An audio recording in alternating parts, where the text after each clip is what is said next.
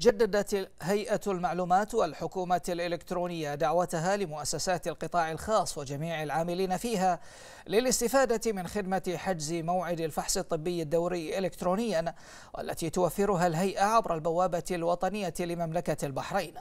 وفي هذا الصدد أكد الدكتور زكريا أحمد الخاجة نائب الرئيس التنفيذي للتحول الإلكتروني أن الهيئة وبالتعاون مع وزارة الصحة وفرت هذه الخدمة من أجل تسهيل إجراءات الحجز لجميع الموظفين والعاملين في مختلف القطاعات والمؤسسات العامة والخاصة ولتعزيز الجهود الوطنية الرامية إلى ضمان صحة وسلامة المواطنين والمقيمين في مملكة البحرين.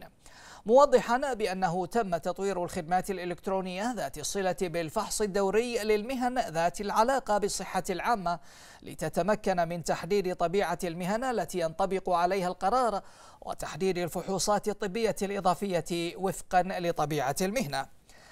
هذا وأشار الخاجة إلى أن توفير هذه الخدمة أسهم في تقليص الإجراءات وعزز من حفظ وقت وجهد أصحاب العمل والأفراد.